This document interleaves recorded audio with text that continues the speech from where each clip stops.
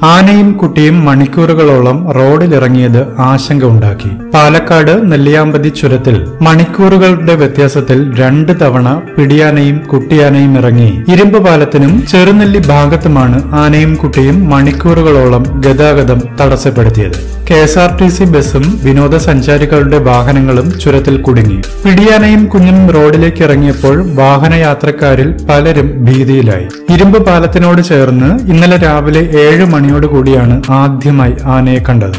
മുന്നിൽപ്പെട്ട K S R T C ബസും കാറും പിന്നിലേക്ക് എടുത്ത് സുരക്ഷിതമാക്കി. റോഡിലേക്ക് ഇറങ്ങിയാൽ വൈകാതെ വനത്തിനുള്ളിലേക്ക് കയറുന്ന പിടിയാനയും കുട്ടിയും.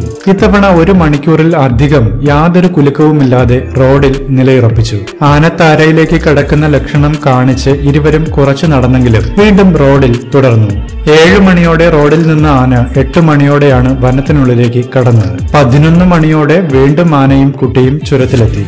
ഇരുമ്പ് പാലത്തിന് മുകളിലായി ചെറുനെല്ലി വ്യൂ പോയിന്റ് ഭാഗത്ത് റോഡിലൂടെ നടന്നതിനാൽ വാഹനങ്ങൾ മുന്നോട്ടെടുത്ത് തടസ്സം ഒഴിവാക്കി. രാവിലെ ഒരു മണിക്കൂറും പിന്നീട് ഒന്നര മണിക്കൂറും ആനയും കുട്ടിയും വിനോദസഞ്ചാരികളെ വലച്ചു. ഒരു മാസത്തിനിടെ ചുരത്തിലെ വിവിധ ഭാഗങ്ങളിലായി പതിനാല് തവണയാണ് ഇതേ ആനയും കുട്ടിയും ഇറങ്ങിയത്. റോഡിലിറങ്ങി ഗതാഗത തടസ്സമുണ്ടാക്കുന്നതൊഴിച്ചാൽ മറ്റ് ആക്രമണ സ്വഭാവങ്ങളൊന്നും തന്നെ ഇല്ലാത്ത ആനയാണെന്ന് വനം വകുപ്പ് പറയുന്നു. നെല്ലിയാമ്പതിയിലെത്തുന്ന വിനോദസഞ്ചാരികൾ ചുരത്തിൽ ഏത് സമയത്തും ആന പ്രത്യക്ഷപ്പെടാമെന്ന കാര്യം വിസ്മരിക്കരുതെന്നും വനം വകുപ്പ് പറഞ്ഞു